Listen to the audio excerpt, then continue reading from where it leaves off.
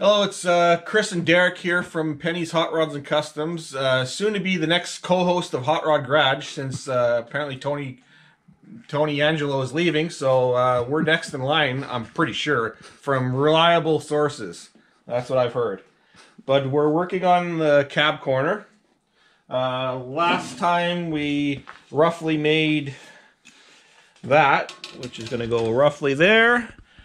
But we have to fix all the innards. We started doing it. We put uh, basically an inner, inner brace in there, joined it up. It's not the original, like the original, but it's better. Uh, we extended the uh, rocker all the way back here and then connected it back into the basically the cab support. So then we got a, this is just floating there and it's pretty rotten. So Derek's going to make this piece. It's a little angled curved piece. Gonna make that and then put a couple more inner structures. This piece is going to go something like that. There we go. Now I got the light. So that'll, there's basically a box right here and we want to duplicate that because we have to push the cab back because it sprung forward when we cut everything, all the rust out. So, uh, for now, Derek's gonna try and make that curved little angle piece using our sh shrinker and stretcher. And in this case, he's just using a stretcher. So, we basically made a little piece, uh, bent it 90 degrees. Very simple. And he's going to go ever so slightly.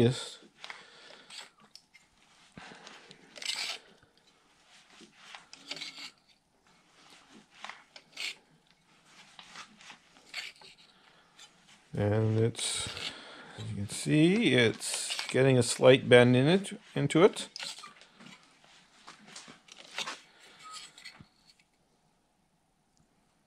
Yeah, I'm just to do a little more to uh, get our, and we'll keep, we'll do it a little more than match it up to what we have uh, on the truck. And that's going to be one of the uh, welding points for the new cab corner. So that's, we want that. And the door lines up with this piece. So Pretty important. Be, yeah. All right, line it up, see what it.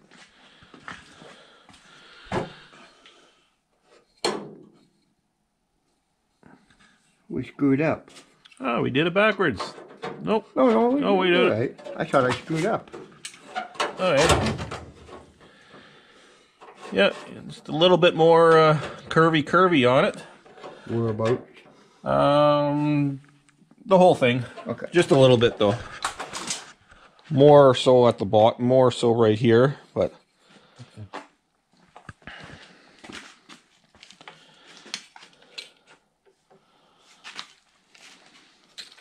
Takes a little practice uh, doing it. You don't want this like more than we got three quarters of an inch there. That's about the maximum because the jaws here Yeah, aren't deep. It. We have a bigger one. Yeah, if you had deeper jaws, then you can, but just leave it half inch to three quarters of an inch is probably the maximum.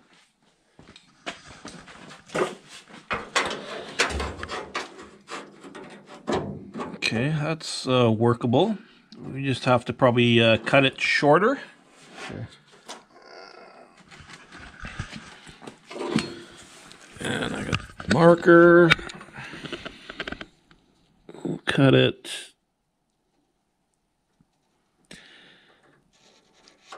Right there for now.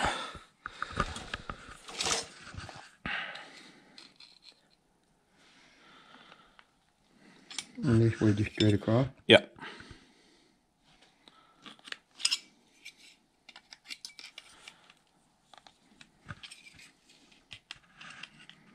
Exciting metalwork. Ouch. Uh, see, we still haven't done much much with the cab, but this has all been tack welded in.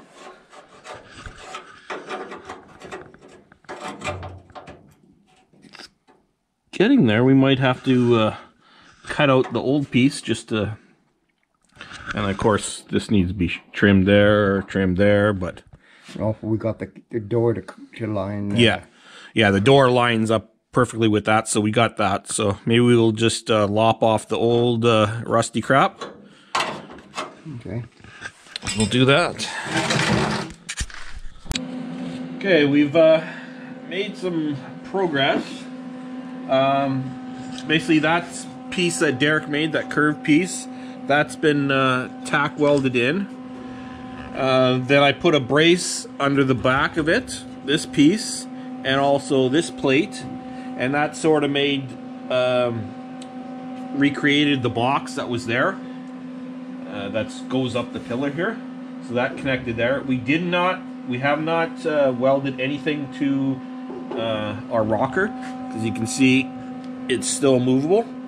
That's just because so we could we got a porta power. We're gonna put it in there to push this back, and then weld that all back to where it's it's supposed to be, where the door lines up. Um, and then I wanted to make this box there so when we do push this back, we have multiple areas to weld, so it's not gonna spring back as much. So this has all been tack welded in the box, and now I guess we'll set up the porta power push this back and then we can weld all along here even on the inside like inside of this side. In there. And then that should uh, get that back into place and then then the cab corner will eventually go in. But a lot of little uh, little pieces to make that because this was all rotten the crap and it's Derek's having a hard time even welding to the, some of this stuff, even if it's just light rust. It's just horrible to weld with. So it was easier just to cut it out. So now it's just time consuming putting it back in. But we're getting there. Uh, yeah, so we're gonna we'll hook up the porta power. We'll show you uh, how that we're gonna brace it to the firewall and basically push on this pillar, close the door, see our how our gap is, and then start welding.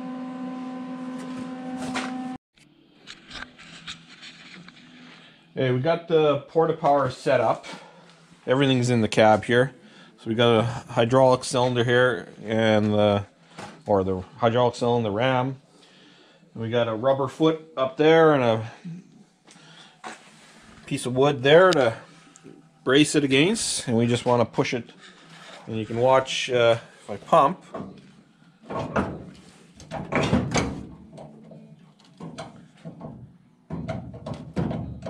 Mm, you move about a quarter of an inch.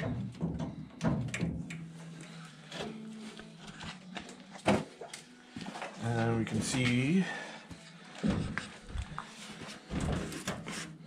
Still a little bit more. a little more. Yeah.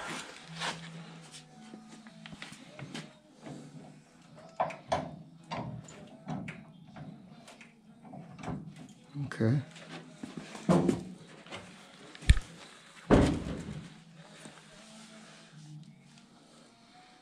That's probably a perfect gap there, except Yeah. we want it to go a little bit more. We can always tap that a little bit my way. if we Yeah, have to, yeah. A little bit.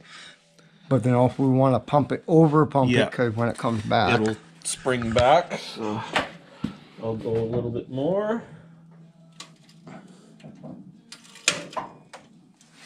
I would think that's getting pretty damn good. Oh yeah, Yeah. That's a pretty good gap. Yeah. 'Cause then, now we just have to weld, weld, weld, open the door, weld, weld, weld inside. You made it where I could weld about five different places. Yeah. And hopefully that'll keep it. If it doesn't, we might have to put the cab corner in. We put some bracing in the in the in the back here, but I think that will work. So we'll get uh, Derek to weld that. And uh, yeah, I haven't used that tool for about 10, 10 years.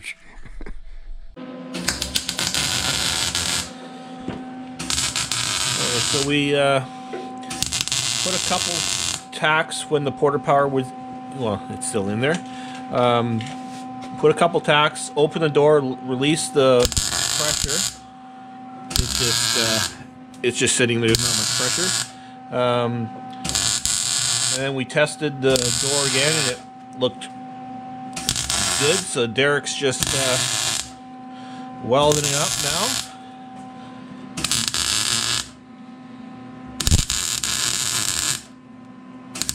I made uh, a lot of area when I made created that. Made a lot of area where he can actually weld extra welding uh, space to make it nice and uh, strong.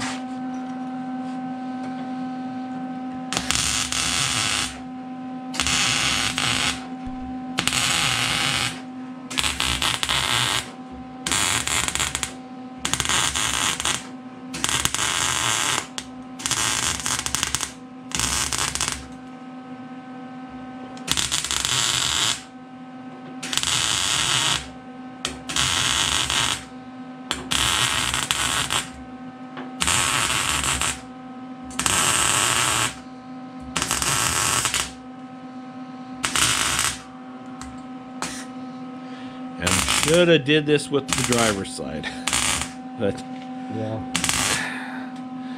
we didn't didn't think it was going to be that rusted, and we didn't want to get in like it was a lot of work. But it's actually more work doing the driver's side the way it is. This is a lot better than the driver's side. For a piece that you won't see. All this you never see. Well, unless you uh, unless you take the seed out actually and look in the in the cab you will not see any of that this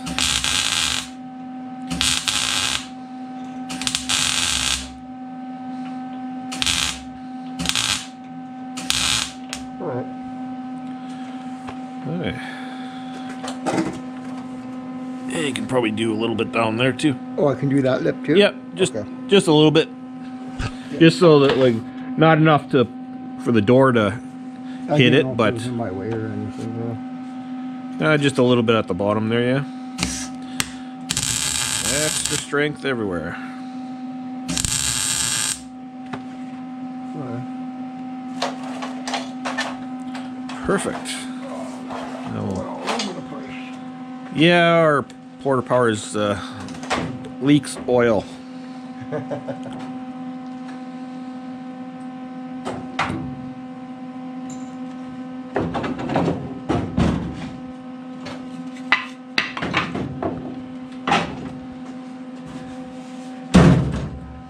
Perfect.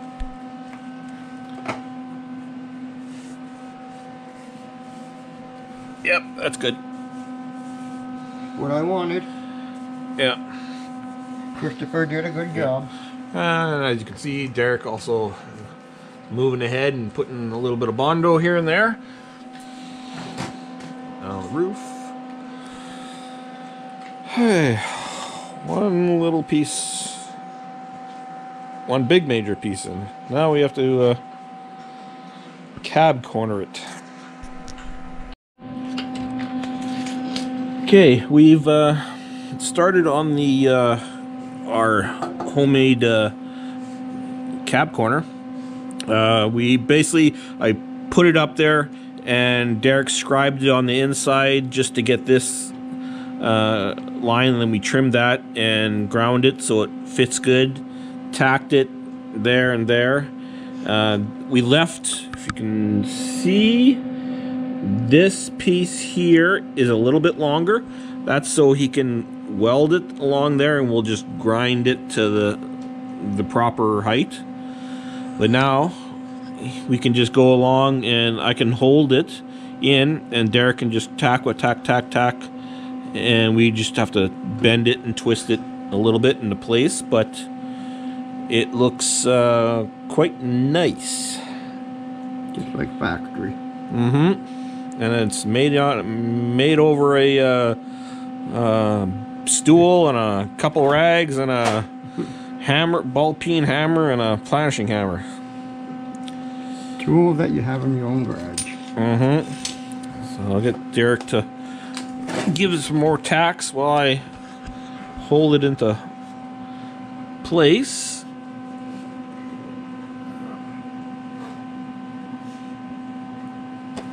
Ready? Yep, I'm ready. Hiding behind the camera. So my eyes don't blister. We'll push that out. Yeah, that needs to be pushed out from the inside. Uh, let's see if I can do that.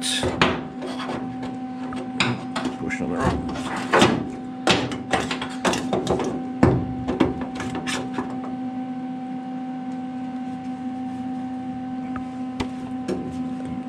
Good.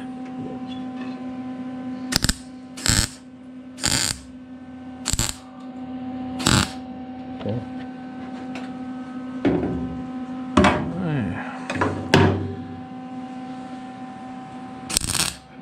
Basically, just going along inch by inch, just making sure that it's somewhat flush.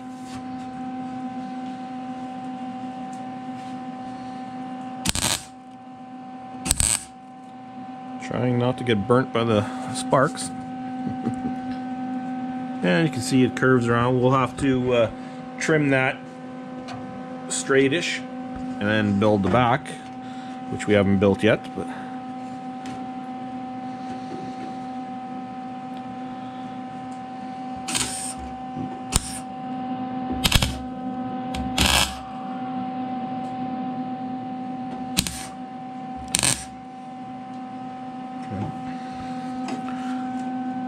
Yeah, that's look, look looking mighty uh mighty uh professional.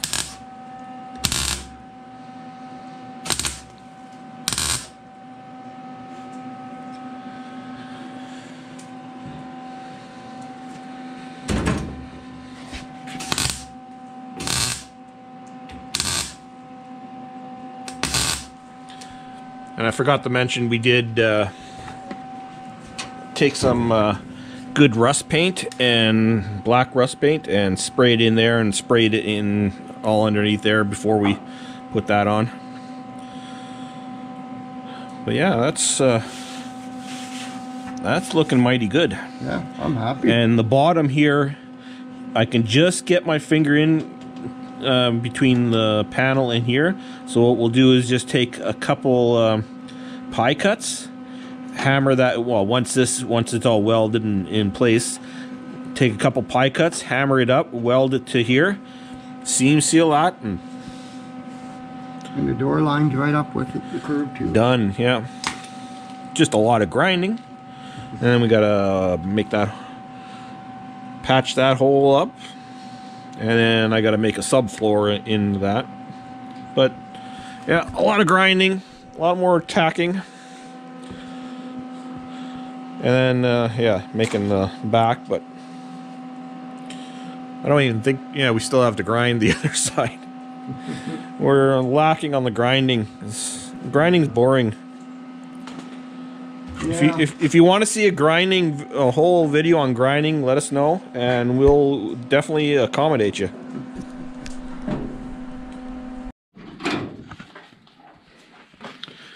Okay, so Derek's doing some uh, weird rust repair. It basically, yeah, all here. This is all rotten. I guess water got in there somehow and sat there and rusted. He already fixed the other side. The other side wasn't as bad. But he's just drilling out spot welds. And then he's got to get rid of this seam here because it's rotten here. And then make a piece that angle piece and it's curved because this is curved. Very Yeah, weird. very weird. I'll show you. Well, and he's also started to mud. Uh, he ground the welds down and put some uh, good fiberglass uh, bondo on there. So that side's getting done. Don't look at this, even though I'm filming it. That's a Indian motorcycle, if you wanted to know, but that's another thing. Oh yeah, we got the that done. All rough ground, rough ground. Even made uh, that little patch panel, and then I found a rot hole in there, so I'm making that, and that's Derek's uh, patch for that. Just needs a little bit of love and bondo, and it's tucked in there. Get some seam sealer and so getting rust out of this truck. So, yeah, looks getting done slowly, inch by inch, getting all the rust out. Still got the slight bit on the bottom of the doors, but that's that's another. Yeah, right there, a couple little holes there, and a little bit there. But that's easy, easy. That'll be next weekend. Yeah, that'll be next weekend's job. Since we only we've been only working on this on the weekends. So yeah. We'll keep getting on it. Okay, Derek's just making little the patch piece for the uh, driver's side uh, cab uh, pillar, the A pillar. He's just stretching it to give it a little gentle curve.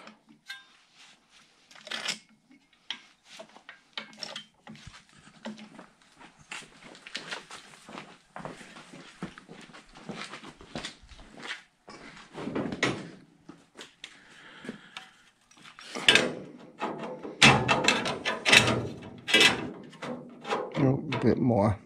Yep. A little bit A more. little more. And just trim it down the size. And he, as you can see, he painted painted the over the uh, crap in there.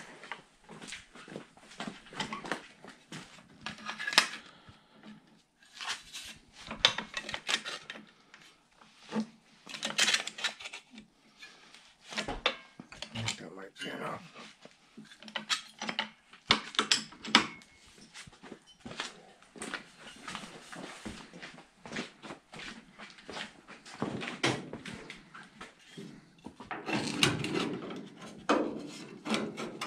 Oh, that's starting to find my Yeah, by the time you just trim it there, and tr- I don't know if you can trim, I have to trim that, or or it I will slide to, in. Yeah.